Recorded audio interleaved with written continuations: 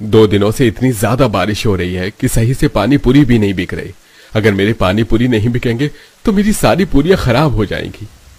दो दिनों से लगातार बारिश हो रही थी, पर इस बारिश में भी रंजीत अपना पानी पूरी का ठेला लगा रहा था, क्योंकि उनके घर की आर्थिक स्थिति बहुत खराब थी और उनके घर में रंजीत इकलौता था जो काम करता था।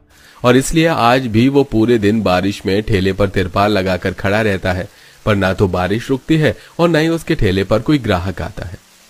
सुबह से शाम हो गई, पर ना तो ये बारिश रुकी और ना ही मेरे ठेले पर कोई ग्राहक आया। आस पास में आज किसी ने अपना ठेला भी नहीं लगाया। अरे, मुझे भी घर चले जाना चाहिए।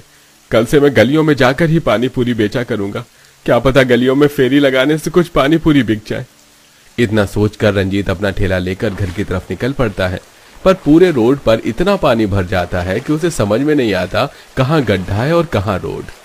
ये भगवान, रोड पर कितना पानी भर गया है। इस रोड पर तो बहुत सारे बड़े बड़े गड्ढे हैं। मुझे तो समझ में नहीं आ रहा किस तरफ़ से जाऊँ। ये भगवान रक्षा करना मेरी।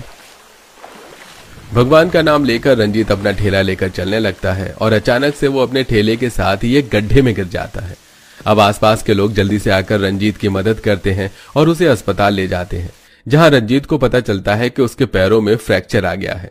कुछ देर बाद रंजीत कुछ आदमियों के साथ अपने घर पहुँचता है जहाँ उसके पैरों में पट्टी देख उसके घर वाले घबरा जाते हैं। अरे बेटा तेरे पैर में ये पट्टी सब ठीक तो है? भैया क्या हो गया आपको? मैं ठीक हूँ पर अब मैं अपना पानी पूरी बेचने का काम नहीं कर पाऊँगा क्योंकि मेरे दोनों पैरों में फ्रैक्चर है और डॉक्टर ने मुझे छह महीने बिस्तर से ना उठने की सलाह दी है। अरे मुझे तो फ़िक्र हो रही है अब मैं आप लोगों का पालन पोषण कैसे करूँगा?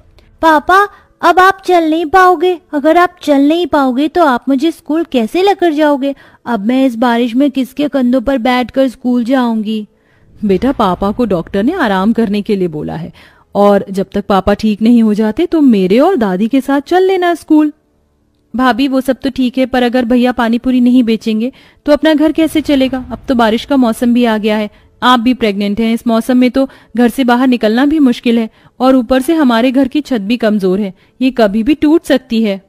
नंदिनी की बातें सुनकर सभी सोच में पड़ जाते हैं। अब इसी तरह से कुछ दिन बीत जाते हैं और धीरे धीरे उनकी आर्थिक स्थिति और भी ज़्यादा बिगड़ने लगती है। ऐसे ही एक दिन। रिंकी बेटा उठ जाओ चलो जल्दी से स्कूल के लिए तैयार हो जाओ इससे पहले कि बारिश शुरू हो जाए। नहीं, माँ, मुझे इस बारिश में स्कूल नहीं जाना। मैं गीली स्कूल में पहुँचती हूँ या लेट पहुँचती हूँ तो टीचर मुझे बाहर खड़ा कर देती है और कल टीचर मुझे डांट रही थी, कह रही थी कि तब तक स्कूल मत आना, जब तक स्कूल की फ़ीस ना भर दो। रिंकी, बेटा, अपनी टीचर से कहना कि हमें थोड़ा समय दे। हम जल्दी तुम्हारी स्कूल की फ़ीस जमा कर देंगे। अब चलो, जल्दी से तैयार हो जाओ। आज तुम्हें मैं स्कूल छोड़कर आऊँगी। इतना बोलकर आशा रिंकी को अपने हाथों से स्कूल के लिए तैयार करती है और उसे स्कूल लेकर चली जाती है। कुछ देर बाद एक औरत छाता लिए आशा के घर आती है और निशा से कहती है अरे निशा बेटा, रंजीत के बारे में सुनकर बहुत दुख हुआ। वैसे अब रंजीत की तबीयत कैसी है? तबीयत तो उनकी ठीक है, काकी, पर वह अपने बिस्तर से हिल नहीं सकते। पैर में फ्रैक्चर जो है ये तो बहुत बुरा हुआ निशा बेटा। बेचारे रंजीत के तो दोनों पैर में ही फ्रैक्चर आ गया। हे भगवान, ना बड़ा ही निर्दयी होता है। वैसे मैं यहाँ तुम्हें काम देने आई थी, इससे तुम्हारी मदद भी हो जाएगी और मेरा काम भी हो जाएगा। कैसा काम, काकी? जल्दी बताइए, इस समय हमें काम की बहुत ज़रूरत है।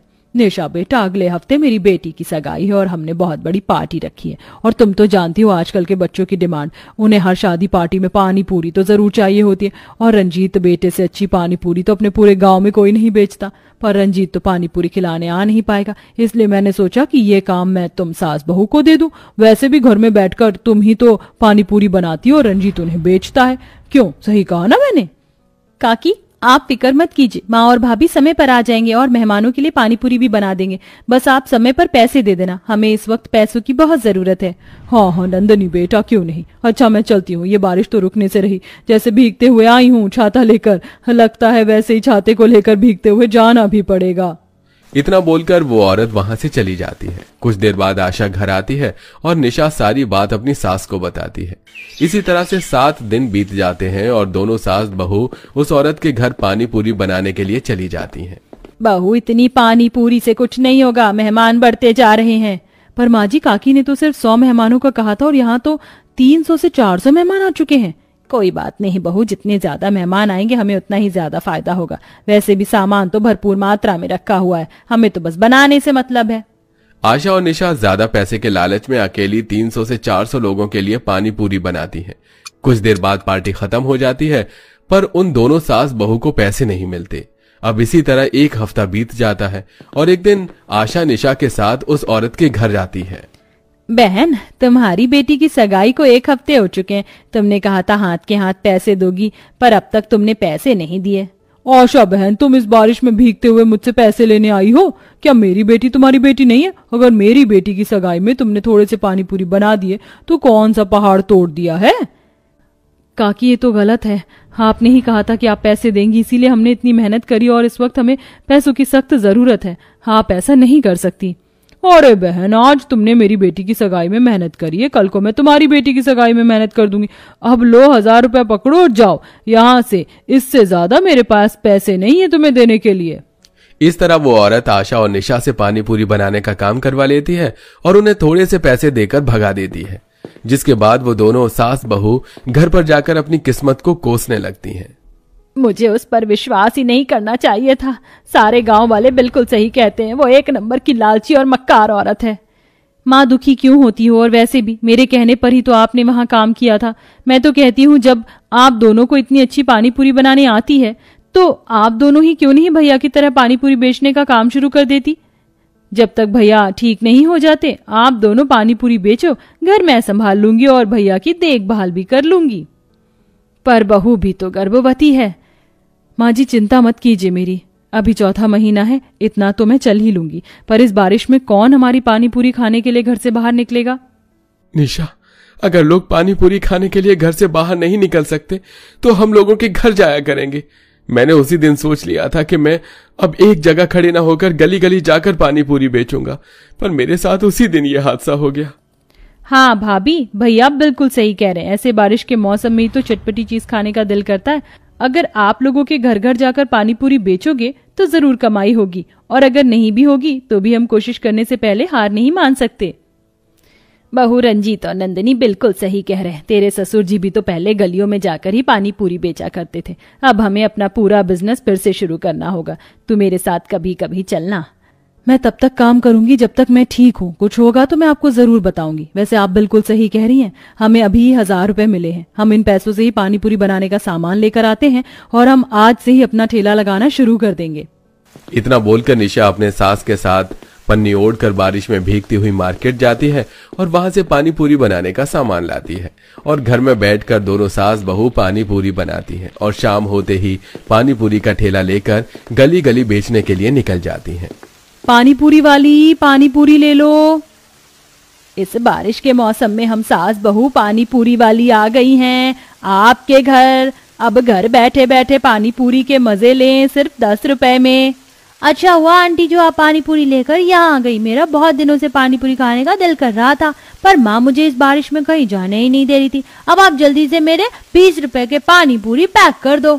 आशा जल्दी से बच्चे को पानी पूरी पैक करके दे देती है। और अपना ठेला लेकर आगे चली जाती है जहाँ एक लड़की छाता लेकर बाहर आती है। बहुत दिनों बाद गली में कोई पानी पूरी वाली आई है। आंटी जल्दी से दस रुपए की पानी पूरी खिला दो। हाँ बेटा अभी खिलाती हूँ। अब आशा जल्दी से उस लड़की को दस रुपए के पानी पूरी खिलाती है और अपना ठेला लेकर आगे बढ़ जाती है। इस तरह पूरे दिन दोनों सास बहू बारिश में भीगते हुए पानी पूरी बेचती हैं और शाम को घर आकर हिसाब करती हैं। बहू, आज पहले ही दिन हमने हज़ार रुपए की कमाई कर ली।